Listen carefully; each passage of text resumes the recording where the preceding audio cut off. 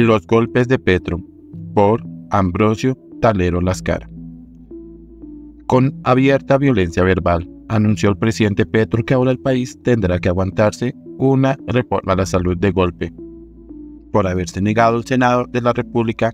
a aprobar la propuesta de reforma presentada por la intransigente ministra Carolina Corcho,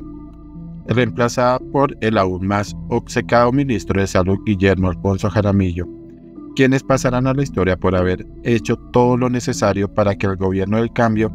haya sufrido la más contundente derrota política en sus 21 meses de ejercicio de gobierno. El agotador esfuerzo de compra de senadores, desplegado por el ministro del Interior Luis Fernando Velasco, le dejó una especie de aura vergonzante por tan estrepitoso fracaso en el manejo de mayorías del Congreso las que fueron desmanteladas con la arrogancia y torpeza de confiar en que el odio destilado por su jefe contra todo el que no le acolite podría trasladarlo a los partidos políticos tradicionales independientes y algunos de la coalición de gobierno, infundiendo el transfugismo y la traición como herramienta para diezmar esas colectividades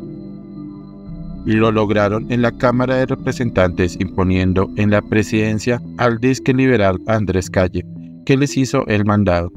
Pero no fue grasa su equivocación con el Senado, estrellándose contra un Iván Name activo que les disputó la presidencia con lujo de inteligencia y estrategia,